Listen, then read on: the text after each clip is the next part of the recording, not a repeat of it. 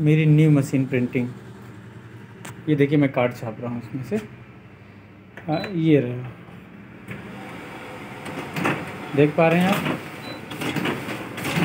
Normal mode पे printing चल रही है मेरी।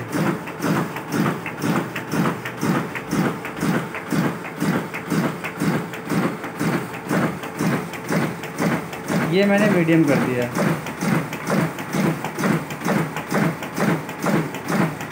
प्रिंटिंग देखिए आप।